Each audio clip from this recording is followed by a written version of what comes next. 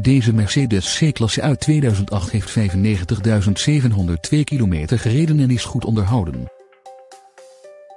De sedan heeft diverse veiligheidssystemen, zoals traction control, ABS en airbags.